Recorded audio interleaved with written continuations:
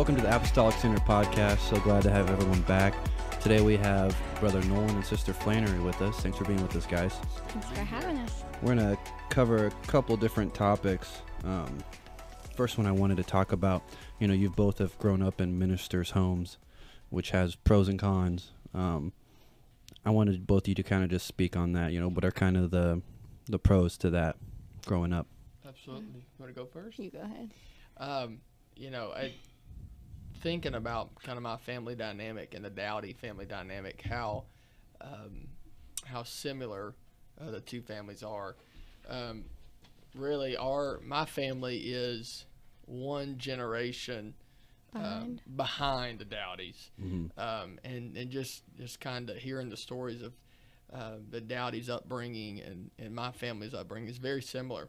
Um, I'm blessed, like the Dowdies, um, that how my mom and dad are at church, or um, you know, my dad behind the pulpit. Um, it's the same way at the house. Like he is, he is who he is, um, and my mom is who she is as well. So um, that's one of the pros. Um, of course, not being negative to any other um, pastors or anything like that, but um, sometimes you know, obviously, the somebody behind the pulpit's not the same way at home or whatever. I'm blessed to say that at my house, that's that's not even close to being the truth. So um, the pros of um, you know the the pros of, of growing up in a pastor's home um, is is to see that guy behind the pulpit he's gonna come home and, and just be the same way at the same. house Mhm. and uh, so that's one of the, the many the many, one of the many pros of growing up in a minister's home Yeah, Pastor kind of talked about this last night, and he said uh, something that he was exposed to, you know, all through his teen years and stuff was when ministers would come, he'd get a chance to be around Right. ministers. Is that something you would experience as well? Oh, absolutely, absolutely. That's um, you know, pastors. Um, my dad would put people in my life to. Um, he would have them come preach, but then on the side, like, hey, go eat lunch with them. Yeah. And so that's, uh, um, you know, looking back, that's one of the mo- most cherished moments that dad would strategically pick people uh, to come through and preach and bless the church, but most, he would say, most importantly, come, you know, influence his children. Mhm. And uh, so I'm very, very thankful for that. Are there any of those relationships of people you're still in contact with today? Oh, absolutely. Um, one, it's cool now too, as far as us uh, doing kids ministry um, and, and and preaching out. Some um, some of those people have invited us to come preach, and uh, we've got one we're doing in um, January. We're going down to Brother uh, Jimmy Tony's, and uh, that's somebody Dad brought in several times to come, and and uh, which uh, he um, was one of the first um, people I called to to tell him about Flannery and Oh, and uh, yeah so um, but um, so he's he's a he's a good one and that's uh, probably one of the most the, the closest relationship as far as from that uh, from dad bringing somebody in so What about you, Flannery? Well, I'm fifth generation apostolic, so growing up in minister's home, your grandpa being a pastor, your uncle being a pastor, your dad being a preacher, you never had to question what they believed. You know, Mm. not only do my parents live for God, but my grandparents too. All my family, all my cousins, now even Uncle Basil. You know, Mm. everybody lives for God, so you never had to question what you believed. You were raised in it. You were taught in Sunday school. You were involved doing all the things. So I think that's one of the pros, knowing that you never had to question what your parents believed or what your grandparents believed, and Right. you just get to be involved in ministry. Everything you do was at the church. You know, you never had a question coming to church, all those things. So that's that's a, a, a neat um, point is being so involved uh, in the church um, that you don't you're there's no schedule conflicts yeah, it's like your life was the Yeah, church. It's like you, it's uh, uh, you having a church event. Well, we can't have something for the family Right. because we're at a church event. Right. But Right. the cool thing about, and the same way with the Dowdies, it's like the best family time are Is- church is events. church events, You know, because uh, we're all involved, and that's a um, a like those fellowship dinners y'all do. I think that is so that's so fun. The Absolutely. karaoke. That I know everybody had a blast at that, and families got to do it together at church. I think that's making awesome memories at church. Oh, what better family time can you have than Yeah. uh, And- doing something? Then singing bed Yes. together in unison. I love it. Flannery, you find yourself um, participating in a lot of your dad's ministries, or Yeah, um, I think so. Um, well, he, you know, he when p- the pandemic happened, um, that's when I really started getting into kids ministry because. You know, he got the green screen and all the things. And we were setting up for the live stream Mac Live services. What, and what do they call you? Uh, Faithful Flannery? yeah, something something really silly. but um, yeah, I like to an outreach to um, you know Bible studies. I've been in several of my dad's Bible stu- at home Bible studies, and just having a burden for that. Um, me and Nolan, you know, we like to do it together, like him and my mom do their Bible studies together. So I've kind of not taken that on, but just love doing that. Um, like I've watched him do at home. So That's kind of the, the most rewarding thing, um, kind of in our marriage, is kind of to do stuff together ministry wise. Um, it's like uh, one of the first services. It was it was very not eye opening, but just kind of the, the benefits of, of being married to somebody like awesome. Mm. Um, you know, so uh, I preached a message. It was terrible. Um, went kind of. It was I wanted to escape, so I went and like prayed afterwards. And, like Mm. thank God for getting us through that and whatever. Hiding, and then, yeah. and then Flannery's down there, she prayed somebody through the Holy Ghost. I'm like, and this is awesome. But it's like so rewarding to do stuff together. Um, Well, my love language is quality time, so it's like no matter what we're doing, I want to do it together. So even ministry, you know, everything we like to do is together. yeah, so it's Yeah. very that's very rewarding.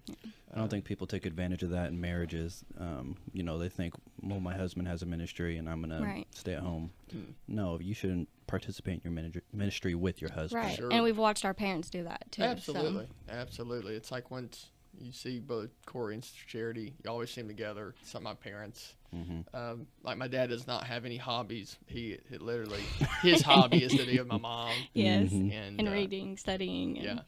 It's like drop her off the front door at the mall, go study, and then pick her back up. Like that's just what he does. So Yeah. So, uh, are there any kind of? I know sometimes people don't really see some of the negative side, and I'm not saying that your parents did anything negative, but is there any like overdue criticism or some stuff like that that comes your way in a minister's home? Well, I think probably what you do, people do in excess. So it's kind of, you've got to live the standard, probably above the standard, you Mhm. know. right, it's um, for instance in this is in this season of um, of travel and stuff. Yeah. um, we're very we try to be very careful of of maybe how many services we miss or whatever. There's like a count, you know, Mm-hmm. um, because what you do in moderation, your, your people, the folks you're leading, are going to do in excess. So, um, so we we've tried to to stuff like that. We try to be careful with.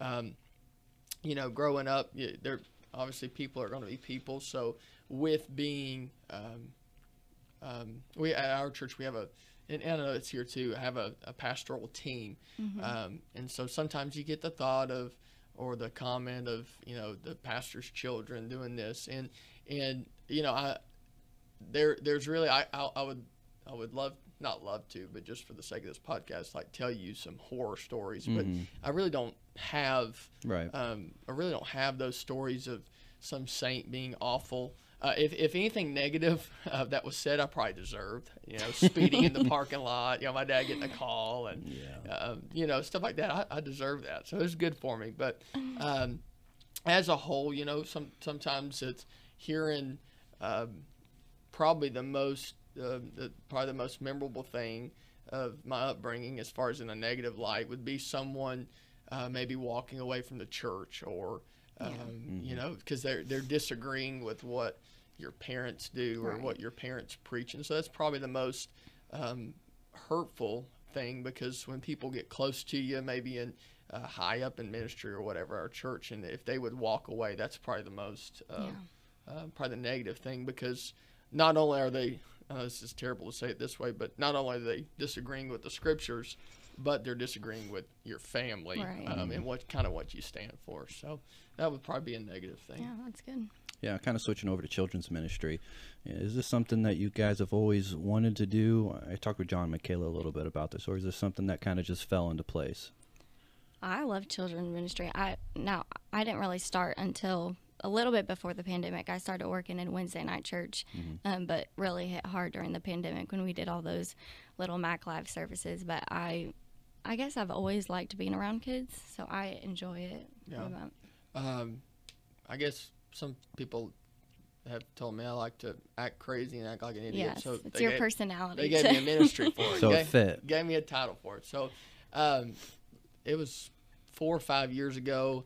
Um, our um, our children's minister and his wife they wanted to still be very involved in the church, but kind of just repurpose themselves. And uh, so there was a an opening for it. Um, there wasn't like a clearly defined person that was going to take it. And so I remember being in like a family meeting and they were talking about. Who could do that? Could this person? No, they're too they're too busy or whatever. And it kind of like hurt my feelings. I wouldn't even thought of. And I was Mhm. like, hey, I was like, and I, I pulled somebody aside. It was my brother-in-law Zach. I was like, hey, I was like, I'd love to do it, you know. Mm-hmm. Um, and so from that, they, they put me in a couple services, and and then we um, formed a, a pretty good team. And then, of course, getting married, my team got amazingly better, if that's a um, a term to use. So, um, but there's there's a couple things that I um, I've always liked, like object lessons, Mm-hmm. and uh, so sometimes doing those in big churches, like you know, this guy's you know Who is this guy? yeah. Come on. But then with the kids, I feel like they, um, I hope they enjoy that. So, uh, but I've always, I, I, I like, I like praying with people through uh, for the Holy Ghost, um, and so that's kind of the best. Um, it's you know a majority of them at some point, all of them are going to need the Holy Ghost at some point. Um, so you really find, I find it being the first opportunity to um, not show them the scriptures necessarily, but to where to where they can understand it Right. and uh, so that's that's kind of a cool aspect of, of kids ministry in my mind. Um, we we have this was this chart at our church that we kind of go by. Um, it's it shows them as a baby, it shows them taking their steps, them growing, and then to being a full adult. And this is not necessarily a thing that um, is like a, a natural a physical age uh, chart, but maybe a spiritual age. So in our in our ministry, we try to uh, we might have a six year old um, that we get them born again spiritually, so uh, they're that baby. But if we can get them to a mature Christian by the time they're ten years old, we've done um, a good job. I, I guess to say a good job. Hopefully, it's a good job. uh, hopefully a good job. Uh, but then we get some 12 year olds that they they're not even at baby stage yet, and um, so that's kind of our um, that's kind of our outlook on. Do you have like a curriculum curriculum for that, or is that just Well, tracking we- by the eye? You know. We Right. pretty, yeah, yeah. Uh, we we try to look at the the needs of. Um, the, try to look at the needs of the kids, how, how to get them. I guess we, we look at, you know, these these 18 year old, 19 year olds of the past, and I guess like the best example is uh, brother and sister Dowdy. You Yeah. look at them, how, Evangeli- evangelizing at 15 years old. And Right, like the, you, not not in a negative light of, of, of the kids nowadays, but you don't hear of much of fifteen year olds, sixteen year olds. Right. You don't hear of twenty year old pastors, um, and and so you know, and I know it's times are different, generations are different, um, but I think the one thing we can do as kids ministers is the closer or the faster we can get them to to being a contributor Right. um, in an, a, a young age, the better. Um, so it's not all about. I don't want 15 and 16 year old, 15 and 16 year old uh, young people. It's all about them and what they want. Uh, but as far as if I can get a 10 year old kid to understand, um, you know, it's not all about them. It's about serving. Right. Um, the quicker we can really pour into them and get that at an early age, I think the more success we find as an 18 year old, you know, pastor or missionary. Well, we have them from 5 to 12. So once they get into the youth group, hopefully we've trained them enough to be in the youth group and actually be in ministry and do all those things. Right. So so really that that chart in my mind, if I can get that five year old to, to be born again spiritually, that's obviously the goal of every kids minister. Um, but then if I can get them to being um, a disciple maker, um, that that doesn't necessarily mean um, a preacher or, or whatever. If I can get that 12 year old to be um, a disciple maker, however that looks, if it's some, if them um, trying to influence people at school, if that's um, obviously, um, I think the goal of every disciple maker is to, to teach Bible studies um, and, and giving them tools, those 10, 11, 12 year olds tools uh, to be able to do that. Um, the the we, we've seen the the more uh, we can get them to that thought process as 10, 11, 12 year olds, they grow up to be 18 year olds that um, can be missionaries that we would trust to. Uh, you go take this um, group of people here in the city and you pastor because you're you've you've got a mentality that number one, it's not about you, it's about obviously the kingdom of God, but then you have got in your mind that you want to be a disciple maker. That's the goal of everything. So looking at that chart, if we can get them from um, you know being born again spiritually to taking their first steps um, and then pouring into them. Um, obviously, you have your curriculums on um, on salvation and all that, and that's how we get them born again. But then, uh, you know, your uh, your your month on prayer, uh, your month on evangelism. Um, you can do that in fun ways, uh, but get them on that chart to, to progress and, and finally be a, a mature Christian at 11, 12 years old. That's kind of our, our goal. That's awesome. How, how do you how do your services play out? How are those organized for for the kids? Um, they usually come in as far as Kids Quest Live. They Mhm. come Yeah, in. Yeah, kids out. That's what it's called. Yeah, so they come in uh, to the youth sanctuary, and then we usually do a song, and which they're in the main sanctuary for the first whole entire worship set up until after the choir. So they have you know real worship, praise, all the things. So then they come into the sanctuary, and we do like an action song, and you know kind of fun worship, and then we'll play a game, then we do another song, and then we do preaching. Yeah. Um, which you do object lessons and all the things. So that's usually how. a Is that every Sunday? It we're is. changing that. Yeah, this in the new year, we're starting every Sunday, um, Kids Quest Live, and then on Wednesday nights we're doing kids groups, like a kids version of small groups. So we're pretty much u- moving Sunday school yeah. to Wednesday to nights. Wednesday nights. That kind of the goal with um, uh, you got Kids Quest live Sunday morning kids group. Um, for instance, this month of, of January has always been our month of prayer. Um, so the whole church will be focused, um, all preaching, all um, it, the social media stuff. It'll all be focused on prayer. So, um, and Sunday mornings we're, we're going to try to preach them inspiration about prayer, and then Wednesday nights. Um, Apply yeah, apply that, apply the thought um, to reiterate what they learned on Sunday morning. I guess the worst, uh, the worst thing it, that can happen is the message that is preached on Sunday morning to stop uh, when they leave the doors of the church um, when that service is over. Um, so when this this first month we've tried to kind not um, to try to what's the word I'm looking for? Just like redo some stuff, restructure some stuff. Um, I guess our thought process is is trying to to get that sermon to go beyond Sunday morning Right. to try to um, make it make it. We we we're trying to come up with a name. Oh yeah, like Um, a make it stick kind of thing. Like take home to the parent. We're trying to partner with the parents, Right. giving them like a take home. Like, hey, here's what you can talk to your kid at the dinner table. Here's what you can talk to them in the car. Conversation starters. Conversation Yeah. starters. Yeah. Um, just taking what we learned Sunday and Wednesday, how to apply it, how to connect with your kid that week, and just kind of really get it into their brain. You know. That's great. Yeah. Ingrained in the brain. Yeah, I like that, but it sounds like we're brainwashing. Come them. on.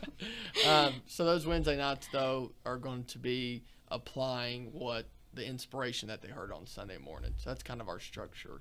Um, we our church here the past, um, well, I guess it was pre-COVID, uh, started a few months before COVID. Um, in order to grow uh, I and know, to it's crazy larger, how COVID's now like the Yes, ground zero for everything. I know. It's like BC and Yes. AD. Now it's COVID. Pre or Um, post. so yeah, that's, That's so true. um, so we we had a um, which brother Tim Lee's no stranger to this church. So um, came help us kind of structure the idea of small groups.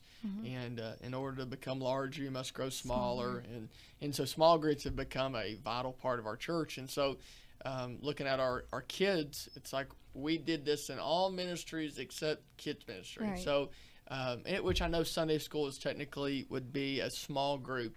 Um, but so we, we've we've really tried to to use this thought process with our kids ministry as far as with the with the idea of small groups of of taking stuff Right. from Sunday morning and having your small group leader your your teacher uh, try to apply that. Because before it was like two separate things. What they learned on Sunday Right. morning in Sunday school, they it wasn't really connected to what we were preaching in Kids Quest. So this kids group, just like they do in the uh, normal small groups, they take what pastor preaches and they kind of talk about it, discuss it. Right. You know, And, and Wednesday nights too. Um, um, for this this the, I know for I think the first four months at least we've got four four months planned out, but two um, months. two months is it two months? My hair's not I wish we had four months planned out. Well, so as a church as a whole, um, will be uh, it'll be prayer on uh, January. That's it's so good I can't even remember it. Um, for- Relationship yeah. So everybody will be taught on relationships at their level. So in February. right. So um, when they go home, they leave for Wednesday night church. It's Mm-hmm. like everybody learned about um, uh, the parents. Uh, how to train your children, how to raise your children, then the children's how to respect your parents, and so Well, hopefully, Brother Carpenter is an awesome teacher, but on Wednesday nights it was like sometimes I think it was a little over the kids' heads. So we just kind of realized, even probably some youth, younger youth. So it's like we've got to break this all down, take what he's preaching, uh, you know, and help break it down for the younger kids. Right. You know, Right, that's the truth. That's because because and and being here Wednesday night it's perfect. Like Pastor Sean did an unbelievable job of teaching, but then you could tell at one point like, you know, he can preach right now if he wanted to, and uh, Yeah. and, and so that's the same way the same way at, at home. Yeah. My, my dad is uh, such an incredible preacher Um, and teacher. preacher and teacher. Um, but it, we we on Wednesday nights we're going to break all into small groups. Um, now my dad will have his his um, main. Marrieds uh, right. pretty much. But it's a lar- I guess you'd say large small Oh, group. But yeah. that's kind of the, the thought process of everybody breaking up into their um, um, small groups and learning on their level. Uh, something we're trying out. and Hopefully, hopefully it'll work in the new year. So When you took over, I mean, was it structured pretty well? Like you guys didn't have to come up with a lot of new stuff, the kids ministry? as far as curriculum, or Yeah, everything. Or, or was there a lot of stuff you guys had to implement? We pretty much do our own thing for curriculum. I feel like like Yeah. we'll come up, we'll kind of like vision cast, and then it, like we might look up, you know, other kind of curriculum, but we pretty much write it ourselves right. in a sense. I It's, guess. it's it's just terrible, but taking looking to see what the the kids are into. yeah, Um, we did an Among Us. Um, that was a real big little game they played. We did a whole kids camp on that just because. Among Us? Yeah, Among Us. Have you heard of that, Harrison? Yeah. It was a real all the He's kids. playing it right over yeah. there.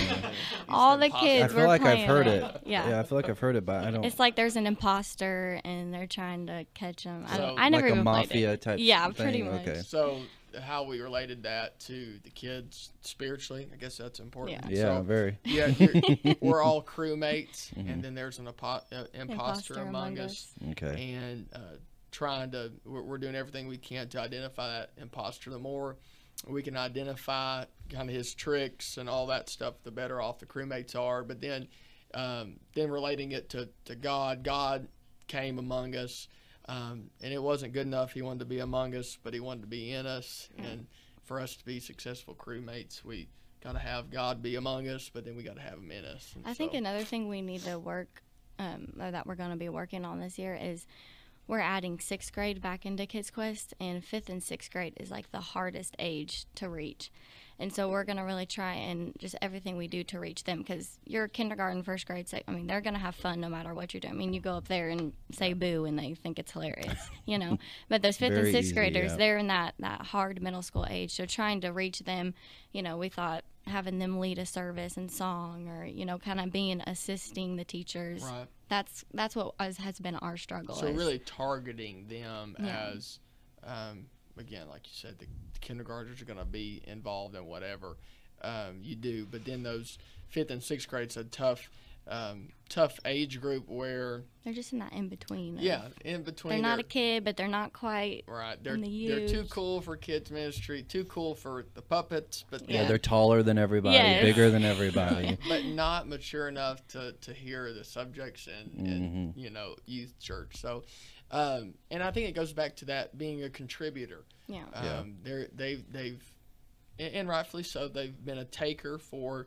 a few years, and and and it's good. But then I think if we can switch their their thinking. mindset yeah and that's what i've told some of them you know now maybe you use these next two years to it's not really about you but let's make it fun for the younger kids and you mm-hmm. you're going to learn how to lead a, a song in worship and that that by the time you get in our chapel services at school and you're in a microphone leading a song you've had all this practice you know just Sure. kind of getting in their minds like this is for your better like this is This the is better going to help you yes do it. yeah Yeah, absolutely. So that's kind of, um, but looking back to the structure beforehand, um, i wasn't really here or there Did you take that over before you were married? yeah, Oh, okay. yeah. So it was all It was all you. an Come was on. all unorgan- you, it was Tell an me. unorganized mess. Um, uh, so we, looking back, we, oh Lord, um, let's think. Uh, it was it was it's very kids- different because there's a different location too. Right.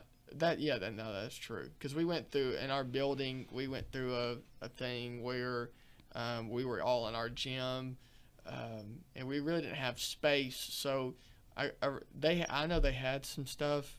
Um, and I even felt like it was on Wednesday nights, like it was a big kids church on Wednesday nights. Mm, um, Because I remember they had it in that room upstairs that we thought was soundproof, but we found out the first service was not even close to being soundproof. um, and so walking in, walking into that, it was it was it was good. The Sunday school department was separate than the kids quest. So you had Sunday school and then you had kids quest. It was two different things. So we took I took over kids quest. Uh, which is was basically your live service, which is feel. Mac Live. It's the Right. same. Right, It's right, right, right. Um, and so I- I'm trying to remember what the what it was like. Um, I remember we had a revival to kick it off. We kicked off a revival every Sunday morning. Um, it was the Out of This World revival. Um, is that your first one? yeah, um, Out of This World. Um, I remember I had a, a rocket suit on. It's probably the most embarrassing thing ever. Um, we had these old wands that were like LED sticks. Mm-hmm. Um, that was cool. Um, I'm trying to think of the subjects we covered. Uh, this world. Um, to, to go up, you got to go down. It's talking about baptism. hmm Um, out of this world experience was um, the Holy Ghost. Uh, that's two. That's out cute. Four. Um, that was kind of our first big.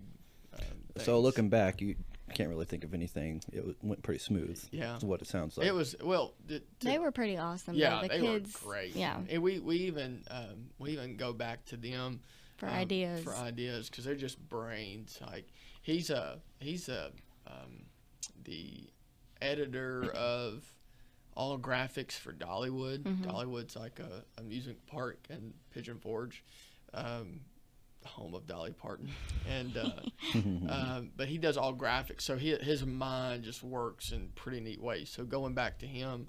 Um, on some stuff like that, he they, they definitely help us out. and we got some um, of their team too, Brother Brandon, Sister Samantha. So they're very helpful. For we have an awesome team. that, that was my next question. Did you guys build that whole team, or was that in place?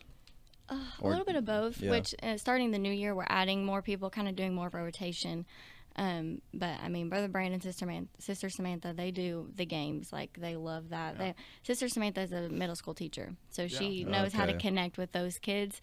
Um, she's very good at that. She's a mom, very good. Yeah. Um, Their Brother- kids are in Kids in Kids Quest too, so yeah. Kind of and we have some hyphen age students, uh, Yeah. you know, that help us lead songs, do production. They do the right. I don't even know. Basically, Lyrics, You, you got to be willing. We found people that are willing to to look like fools for Christ. Oh yeah, fools for Christ. I feel like that's a good sermon right there. There it is. Um, There's your next month. yeah, three there months it is. now. Yes. How to be a fool for Christ. I love it. Um, the kind of something we've been doing, we've added, um, is our our Kids Quest parties. oh yeah. Um, it's just it's cool um, because I like to party, I like to eat, so it's like And kids love to man, let's party. just- Mhm. Let's have church and let's eat at the same time. This is amazing.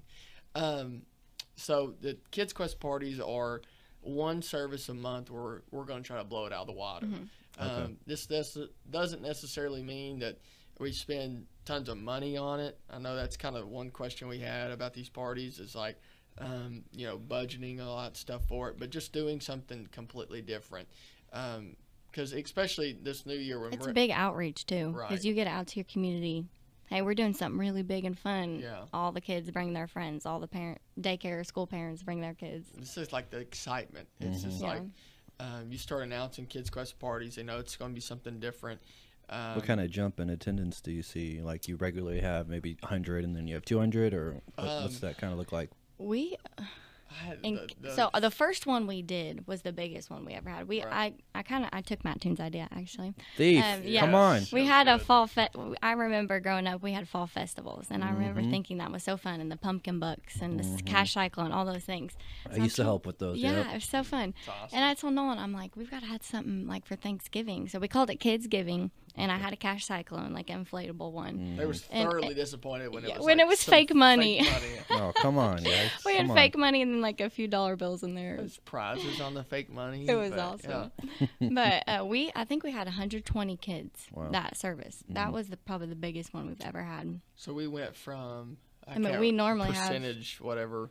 I think it was a thirty percent increase. Mm-hmm. Um, but then you look at the the, the uh, big church. It's like they increased ten percent. So it's like the most. But if you're going to spend money on something, in kids ministry, you might as well do something like this because People want something for their kids to come to. They want their kids to be a part of something, and that's a huge pull on right, them. absolutely. I Sorry, mean, I I don't know.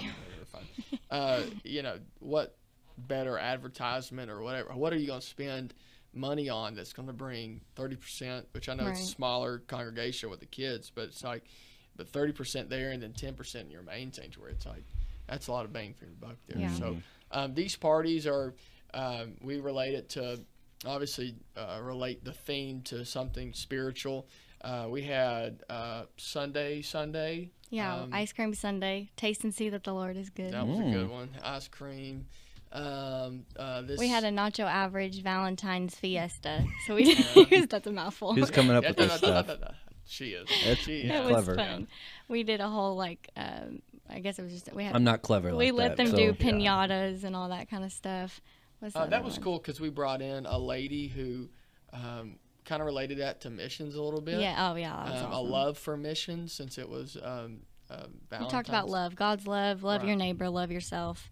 Um, we also had a we threw Jesus a birthday party. We was did like gingerbread houses. This past one we just did for Christmas, we got um, a train for the kids. Sister Carpenters wanted a train forever, and so we threw them like we just kind of went all out with it and did like Polar Express, but I saw the that. Kids Quest Express. So kids wore their Quest. pajamas. That was fun. It was us holy pajamas. We- Holy we, really made that a big push. Yes, Yes. holy pajamas. My dad's like, Nolan, what's holy pajamas? I'm like, yes, we were. I'll We got you, it I'll sh- covered. yeah, well, we got it. We got it covered. Uh, that was cool. We um, that was this past Sunday. Um, what, uh, what was our, our theme with it? What do we what do we talk about? For what? Um, Polar Express? yes, getting ready to hear the bells. Hear, hearing the bell, believing, and time to talk about the rapture. right. It was And then being the light of the world. Now that you are listening for the sound, you go be the light of the world. like try to tell the kids, you know, we we um, don't obviously we're not storing up treasures here on earth, but the only Mm-hmm. thing that you can take with you to heaven is somebody else. Right. And so now that you believe, that was a big thing about the Polar Express. You you be- believe, um, and then you hear the sound because you believe. So, um, you know, you believe first, and then with your belief, there's going to come some actions, and obviously with salvation, you can talk about that. Um, but then now that you believe, eh, we're listening for that sound. So while we're listening for the sound, we get busy with getting other people to believe in this um, this cause of Christ. I think another thing we're wanting to do, we saw um, Brother John and Sister Michaela do that. It was like an off night, like a Mac painting night or something. Yeah, we thought that was so cool. Um, so I think for this next year, we're wanting to maybe do an off night kids thing, like in February. Instead, normally our parties are on Sundays, Sunday Yeah. mornings. Maybe in February, like give all the parents like a date night out, take the kids, you know, before Valentine's Day and do Mm-hmm. something fun with It's them. amazing. Like Mattoon does something, and then like three months later, we do the same thing. It's like how God works. Like that. It's, it's awesome.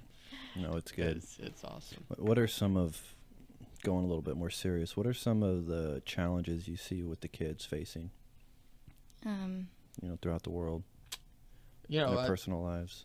yeah. It, the the obviously the cell phones the worst. Absolutely. Um, and two, yeah, as far as kids ministers, we're competing with.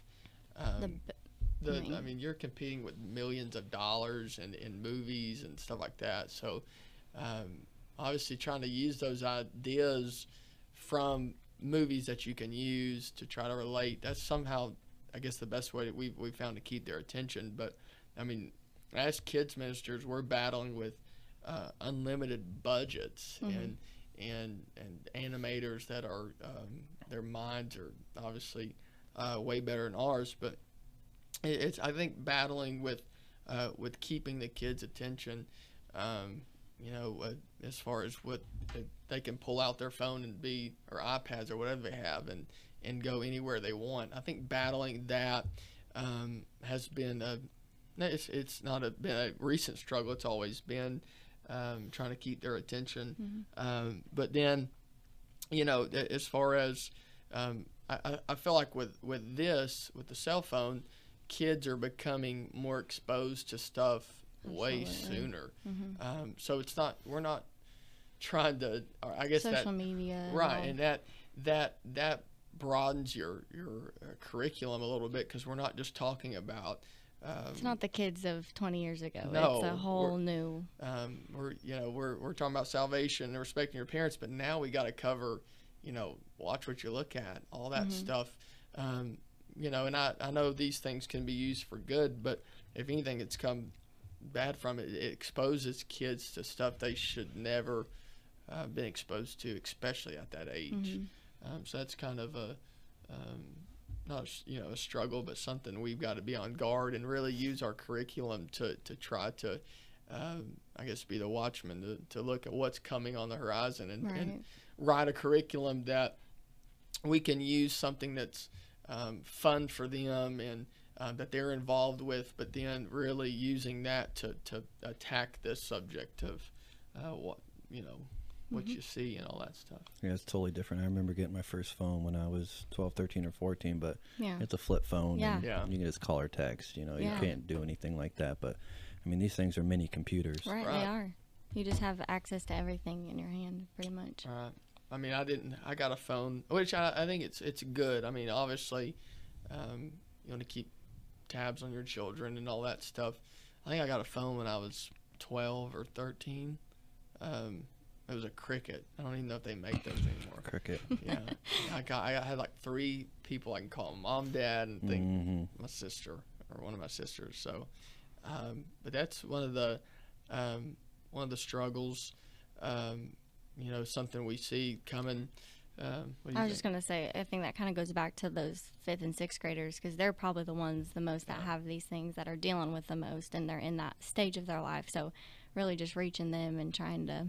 Right, and I, I think too with those fifth and sixth graders, you know, obviously what you said, they're taller than everybody else. Their their bodies They're are- going through that kind of that awkward stage. that awkward, and they're maybe self confidence and all those kinds of things. So, just trying to be, you know, empower them Right. and uh, what's the word I'm looking for, like build them up, Right. of, Right. Build I- their confidence. I mean, when when you uh, you see the the stuff it, it, with this, another bad thing that comes um, with the use of this is um, they compare themselves Oh, to, to people. Um, I mean, they're. Um, I look back at my fifth grade year. I mean, my ears had outgrown my body. Um, my teeth didn't realize I was only 12 years old. So I had these 2 Mhm. things hanging out, and and so you know, I, I was a very, I guess I would say, I was a very confident kid, probably too com- uh, confident. God gave me big ears and big teeth for um, a good humbling. So, um, but you know, it, it, in in that realm, um, you can compare yourself to to to girls on Instagram or for a fifth and sixth grade girl, and so really teaching about, you know, I, I never would imagine four years ago or however it was, um, however long ago it was, um, taking over kids ministry. I, I really felt like I was going to be doing object lessons, but now I've got to, I've got to preach to them about depression. I've got to Right. preach to them about, I guess, anxiety and all those things, and not to compare yourself. That God made you, you know, He fearfully and wonderfully made you, and how to, to take a, um, a theme that you know, or or something that they're a part of, like the Among Us or whatever, Mhm. something like that. But then try to battle depression at the same time, like uh, it, doing those, uh, combining those two things to make it um, keep their attention. I think that's kind of a, or you know talking about manliness and uh, feminine. Femininity. Such a hard word, femininity. I think if we do like a split event, like I take the girls, you take the boys, you kind of do like a man cave kind Yeah. of thing, just you know, because Beat 'em all up, masculinity is wrestle a good around. thing, you know, Mhm. and um, you know maybe do like a royalty party with the girls, and you know your royalness and uh, royalty in God's eyes, you know all Right. those things, just kind of teaching them that, you know, God created you. Right, and I, I like again, it's it's things we never thought we'd have to to. It, no, Like we can shouldn't have it- to do that, Right, Right. right, Absolutely, but we Um, have to. right. we do. Um, we definitely do. I, I I never would imagine having to preach on depression, all, No. all those things. But um, trying to, I think, trying to relate the, you know, the Davids that you know we, we see as the the King Davids, the the giant killer. Well, um, if you read in Psalms, David David had terrors by night. So I don't know if I took this out of context or not, but I talked about you know even David had nightmares. Yeah. You know how David dealt with the nightmares was with God, and um, you know I I don't think that something we we I focused on maybe September October um, focused on these months is really the spirit of fear and uh, of course I went back to my um, spiritual warfare pop that open Mm. and uh, try to make it to uh, preach Binding to the and kids. loosing. That was Right. probably one of the best Oh, services, yeah. best services we've ever had in Mhm. Kids Quest. so talked about um, uh, told a story about a young boy who um, he went to a science lab one day snuck this is so terrible i'm a terrible storyteller teller too so snuck away from his class into a uh, this room that was marked biohazard and all that stuff and had this got his hands in this uh, thing with spiders and he got bit and just trying to tell the story of spider-man without saying it's just spider-man so um, this is the spiritual part, right? Is that very serious part? Mm. So, Yeah. um, so what if what if the question was, what if Peter Parker lived his whole life hmm um, something that was so cool inside of him, but never tapped into it? Never it, use the power. never experienced, you know, throwing that web and swinging from the uh, big buildings or whatever, and so got them like, you know, what is he talking about with Spider-Man? Well, we have a power as children of God, being able to use the name. We have the power of binding and loosing. How boring of our lives. Um, we have this power within us, but we never tap into it. So, you know, we went down the line of, you know, stuff that you're battling. You have the power within you just to, to, to bind it and to loose freedom. that's probably one of the most um, incredible services with Kids Quest that we've ever been in. We had um, one girl who um, is very close to us. Um, I remember her coming. I haven't got a response out of her in the altar, and I, I can't tell you the last time. But she she had been battling the spirit of fear. um, she'd been very fearful, even um, borderline depressed because again her body was changing and and all those. so She this thing she would love to compare herself to um, to people and and so she she would come to the altar and um, which was uh, amazing uh, and she made that step but then she began to to I, I remember reading her lips that I, I bind my spirit of fear and like you know start Wow. crying on this but um, you know uh, that that as as kids ministers was so uh, uh, rewarding um, that we took a subject that something that was relatable to them something that they're facing and somehow met in the middle and um, you know going back to uh, sister dowdy's prayer book uh, we just went down the line and you know loose the um, the bind the the we Spirit of infirmity. Yes, all those things, and uh, loose some freedom, and it was a very,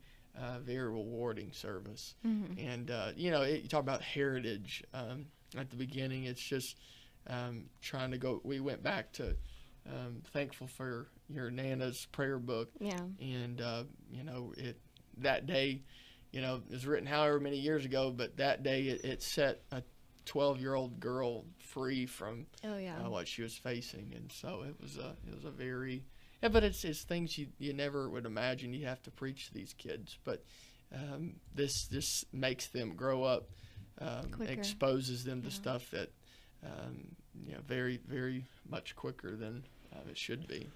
What are some safeguards Um, you guys obviously had social media when you guys were Yeah. younger. What are some safeguards your parents put in your guys' lives? Check your phone. Check. Yeah. Give me your phone. Goodness, yeah, I heard that a bunch. Yeah, just no questions asked, and just um, you know nothing. against uh, so anything that you have to keep secret's not good. So um, my my phone um, was an open book to them. I remember one guy.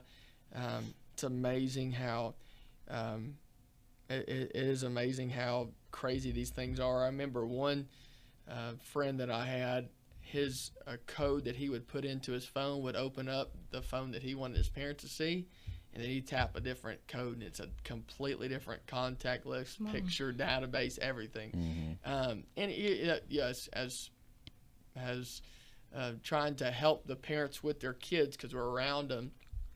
You know, there's some stuff that you're not going to be able to catch. Right. Like you're not going to be able to put guardrails Right. um, you know, there's there's only some stuff that'll be caught or whatever just by praying over, um, you know, your kids and and I know it sounds crazy. We don't even have kids and we're preaching the parents, but um, you know, Well, no, your parents done it for you guys though, so you can talk to it. right, and right, even your brother Hammond and sister Lauren, they, I think they had a class like with the parents, kind of bring your kid's phone. Like we're gonna kind of show you all the new things. There's like been so many updates with crazy things, so they're just kind of teaching them how to.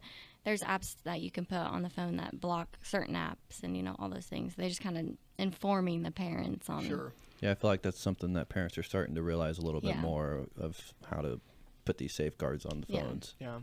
Um, you know, with with phones and uh, I remember my parents uh, put safeguards with my friends um, who I. Um, Hang who I could h- hang around and Show go me your with. friends, I'll show you your future. That's the Mhm. I was greatest, raised on that. yeah. greatest quote. Um, I remember some safeguards with them and um, friends and, and phones and, and time, idle time. Um, you know, just the, the, the more I could be involved in stuff at the church and uh, be involved in my family, the less time I had you know, alone and um, it's, it's all that. So uh, those are some safeguards that my parents put in place. Yeah. It can be Right. a great tool. It's just, you know, how many souls have been won through social media and live stream and all those things. Just teaching them how to use it at a young age responsibly. Right. Yeah. Yeah, it's such a big tool to, to fail on too It for is. teenagers. I mean, I'm 31 now. I'm thinking back to when I was like 15. I was so stupid. Yeah.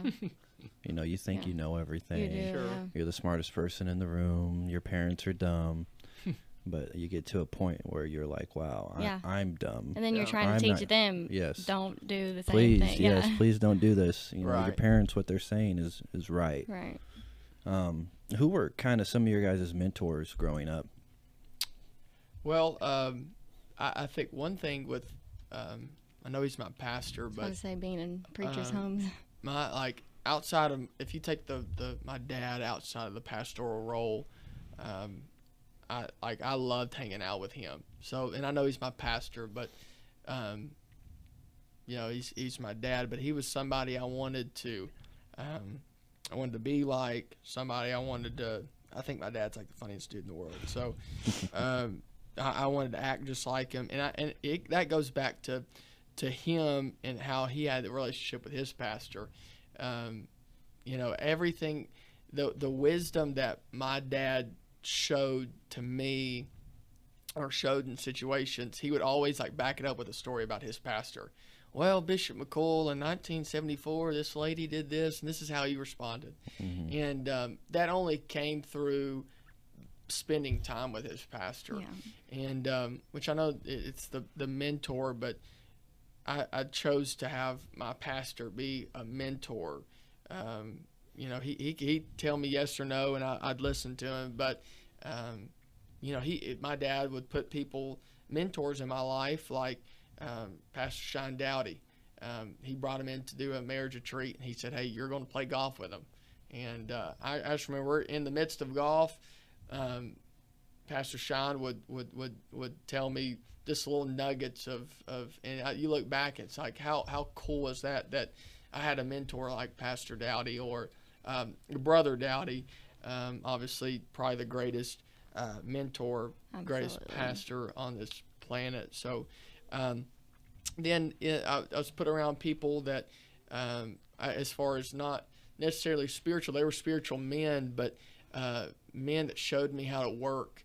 Um, you know, I watched my obviously watched my dad uh, how he worked at the church, but then he would put me with people, uh, good men in the church that to make you better. yeah taught me how to work that didn't care like you know if i slacked off um, they really didn't care about my feelings you know you didn't get the job done and i think that instilled in me um, That's how my mom was too. Hey, Flannery can do it. She'll yeah, do it. yeah You know. it Ask if you need it. anything, ask Flannery. yeah and you look back i was annoying at the time but then I'm grateful it's for it. you're that was the greatest lessons of uh, of a work ethic and all those um, all those things. I, I we work as a family um, at back home and and um, mom and dad put my brother-in-laws uh, basically gave them free reign over my life like.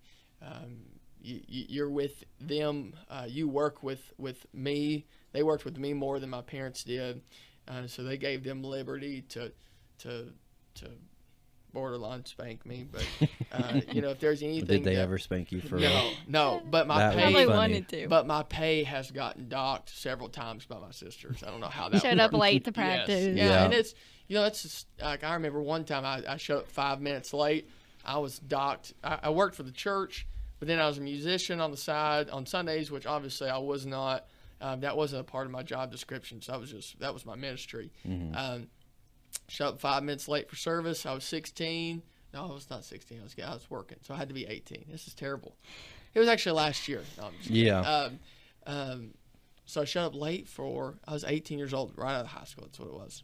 Showed up five minutes late for practice, and you know, just didn't even really think anything of it.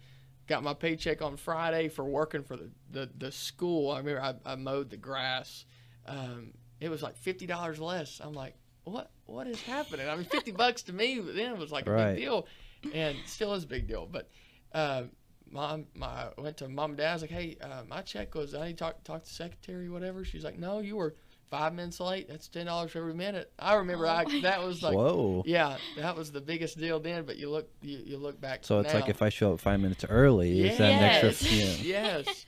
Um, when you look back now, that that showed us how rude it is, and I'm getting better about being late. We're still Uh, working on Yeah, it. uh, but how rude it is to, to not just be considerate. It doesn't get any easier when you get kids Oh, being sure. late. So sure. Uh, so that's kind of um, back to the mentors thing. I, that's people who were put in my life um, that were around me all the time that could see maybe faults that my parents couldn't see, um, you know, and, and really try to correct some things there. Um, but like the greatest, um, greatest mentor in my life is is, is my pastor, and um, so that's um, I, I love to, to to be around him and um, you know the wisdom that he has. Um, I've seen him on his best days. I've seen him on his worst days. I know he's my dad. I know he's my pastor, but I just found myself wanting to be around him, and um, I try to try to be just like him. So Sweet. what about you, Flannery? Who are some Um, people? obviously my mom and dad. I think I have the best family in the world. So you know, Papa always said, "Show me your friends, I'll show you your future." I made my family my best friends. Mhm. So my mom, my dad, obviously trying to be just like them. You know, um, the things they instilled in me. My pastor, pastor's wife, Sister Lisa, Pastor Shine. You know, their their advice, their counsel, their influence. They did. You know, they didn't just you know tell me how tell me how to live, but they had a relationship with me. Mm-hmm. Um, and then obviously Nana, Papa, just the best in the whole world. I still have people come up to me, "You're Judy Dowdy's granddaughter," you know. Mm-hmm. That that prayer book saved my life, you know. Just trying, even though I was only nine when she passed away, but mom told me things about her, and you know, hey, Nana would do this, you know, Nana would always say this, just that kind of mm-hmm. teaching me. And then you marry into their family, and it's Sister Carpenter, you know what a what a great woman of God. Um, so just trying to model my life after those kinds of people, just really awesome people. Yes, I agree. Um, Nolan, and you, Nick, I was talking with Nixon about this. He was talking about how music kind of opened some doors for him for preaching. Has playing the drums done that for you? Sure. Um, you know, getting to travel a little bit and, and play um, different conferences and stuff has really opened up some doors to, to meet people and get exposed to um, some things I would not have been exposed to uh, if it wasn't for uh, drums. And I know that's kind of becoming more popular, uh, like traveling mu- musicians and stuff. Um, you know that, that hasn't always been, uh, but you know just here and there, uh, being asked to play conferences and stuff, um, um, getting to travel a little bit.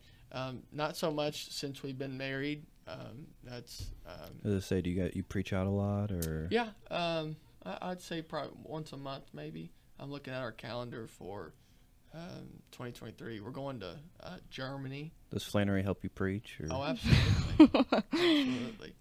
Um, again, she like the story I told uh, however long ago. Um, I cry every time I talk, so that's it's not really good. It's awesome. It's awesome. Um, no, it's good. Yeah, she, no, she helps in the altars, which is Yeah, it's a huge help. Yeah, it really is. And It's underestimated. it, it is. It is because what good is what good is me getting up there and, and blabbing for 30 minutes or whatever if there's not a change to it. So And Um, it's bad also like when a preacher gets up there and his wife is just Oh. just sitting there, that's the truth. not in- involved in the service. It, people do pick up on that. Yeah, they do. My dad told me before we got married, don't be a wallflower. So that's like Yeah, ingrained in me. yeah. So uh, Yeah. but yeah, getting to travel and um, what we've been doing, um, some some um, VBS services and stuff like that um, for churches, and that's just uh, very cool to be able to not only travel, um, but do what you love. You know, be able to do kids ministry, and um, Now, is it better doing it? How how important is that for the people in your church, for the kids in your church, this, having that school? Oh, very important. I mean, it's it's a first of all, it's a, a soul winning um, tool. You know, the daycare we've had we have several families who have been won through the daycare and through the school. Um, but I love that we're the kids that we see every Sunday. We're at school every day with them as well, so we get to just build relationship with them, see them in a classroom, you know, see them play sports and stuff, you know. So one thing Flannery probably won't say on this: Flannery graduates with her master's um, this spring. In, Oh, wow. Uh, in Christian School Administration. Um, so, So she's gonna be bossing you around. yeah, Pretty much. yeah, Come on. yeah, yeah. So um, she's applied herself to, to to be in administration in our school, but That's awesome. um, proud of her for that. So, but our our school is definitely. Um, one of the thing that pushes our church as far as with the soul winning, Absolutely. um, how how Well, the they want. I mean, the use and Illinois is even worse than Tennessee, but the public school system is, you know, crazy. Just what they're teaching and what they're allowing in the schools, and so I think for our church people, like it's just such a security or like safety mm. knowing that their kids. Peace are being taught. mind. Yeah, peace of mind, being taught by apostolic. Holy Ghost filled teachers, Right. you know, in an apostolic environment as well. Right, and I know that that comes with different challenges too, because now our kids are not exposed or are not around um, worldly friends, and so Mm-hmm. we, we don't necessarily like the kids here. Um, you know, go to the Mattoon school system. Invite people. You know, they're they're able to invite people more easy, Right. uh, easily. They're able to have P sevens and all all that, all those great things Yeah. that our kids don't have. Um, so then that brings some challenges to try to get outside of our ourselves. Yeah, to we'll go try invite. and say, "Hey, bring a friend to this Kids Quest party," and they're like, "All my friends go to church," like you know. Um, but our, our school is definitely um, one of the strengths of our church. Um, you know, uh, it- spending time with the same kids, we spend more time with them than their parents. Um, if you look at the hours, um, how uh, I guess how our school came to be was um, my dad was um, he'll tell you this somewhat of a hellion child. So um, my grandmother, um, they've never had a, a brand new car. Um, my grandmother bought, uh, I think it was a Chevy Nova. I don't even know what that is or what year it was. Um, the pride and joy of the family. Uh, my dad, my grandfather, dad says he worked really hard to, to, to get the, the, the family a brand new car. And uh, so they bought the car. Um, and my grandmother drove it to work one day, and somebody had knocked the side of it out. Um, basically totaled it, but you could still drive it. So my grandmother um, got the insurance check, and uh, about that time, they had started to go a little bit to the Knoxville church, just kind of visit, and um, um, Pastor McCool, the uh, Bishop McCool now, uh, made a uh, um, just not an advertisement, but just talking about the importance of their Christian school. And uh, so my grandmother took that insurance check. She wouldn't have been able to afford the tuition uh, if it wasn't for that check. And uh, she paid a full year for um, my my dad Jerry. um, and then my uncle Jerry. Um, my dad tried to get kicked out of the school uh, multiple times. he said that he. That's so uh, hard to believe. I know it, it really is. He would. Uh, um, one time he threatened to blow up the school bathroom. He said he. Whoa. yeah. Uh, this he, he tried his best to get kicked out. Yeah. He, and uh, one one of the teachers told him in uh, in the office uh, with the principal and Bishop McCool said, "Hey, I know um, you're trying to, to leave this place, but we're not giving up on you." And um, there there was one big meeting. My dad said it was all his teachers. Um, all his teachers were um, basically around this table, Bishop McCool and the principal, and um, you know the, they said, "We know you want to be kicked out, um, but um, basically we feel like God's got something for you. That we're not going to give up on you." The next Friday, um, a chapel service, uh, Bishop McCool preached, and uh, my dad was uh, filled with the Holy Ghost, and uh, really made. He, he said he said after service. Um, Bishop said, I, I want you to come up here and and to state your name and to say, I love you, Jesus. And uh, my dad said, I remember being just so prideful. Like I did not want to be there. And uh, he said, I remember walking up there and grabbing that mic and saying, My name is Kenny Carpenter and I love you, Jesus.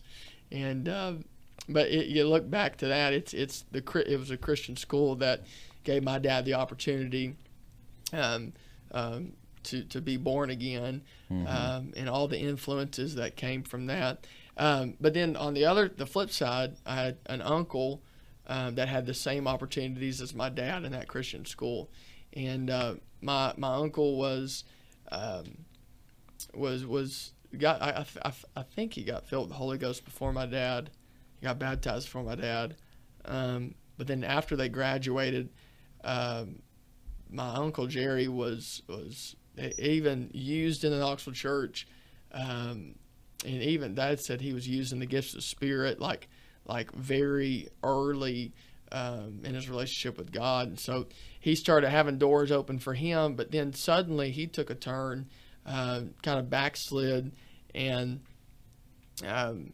basically, long story short, committed first degree murder and spent 38 years in prison. And it's like, so what? What's the difference between my dad, um, same opportunities, uh, same teacher, same Christian school? Um, one is um, obviously my father, awesome guy. One has 38 years of his life uh, that he had to pay for what he did. Um, but it was something that was planted in my uncle Jerry that after he got out of prison, the first place he come to was that church, that church that he tried to abandon, that school that you know he thought this was the worst place in the world. Um, but something was planted in. It's like the value. You look at the value of that insurance check.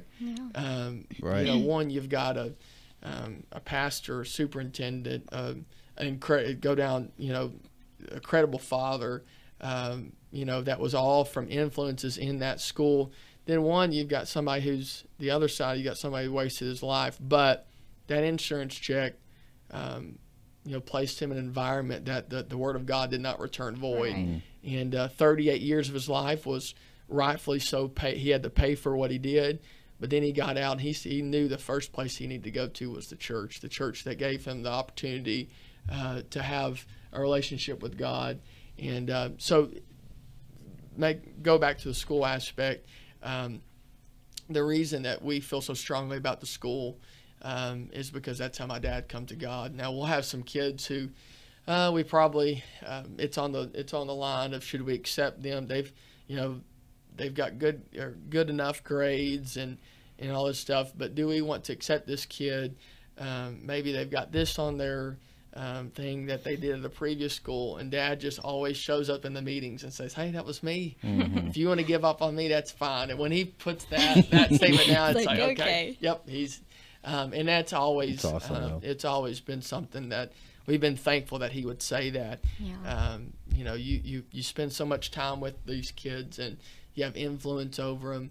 Um, hopefully, influence them in the right direction. And and you, you you know you look at kids that maybe give you attitude at school or um, give you back talk or whatever, but you look at them through the lens of, hey, that could be the next Pastor Carpenter. Right. And that really just settles it. So It's awesome. Well, I want to thank you guys for doing this with me today. I know it was short notice, and I know it's freezing cold outside. but all right, thank you. Thanks it's for been an honor. us. yeah, Yeah. thanks for being here. We want to thank uh, everybody for listening. Please like and subscribe, and we'll see you at the next one.